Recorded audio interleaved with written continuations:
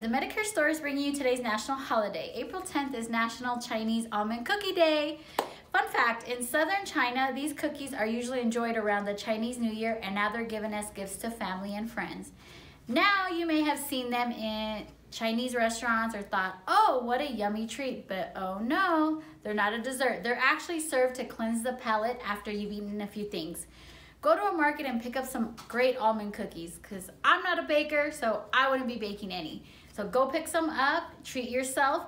Don't forget to like the video and subscribe to our channel to learn more about the national holidays.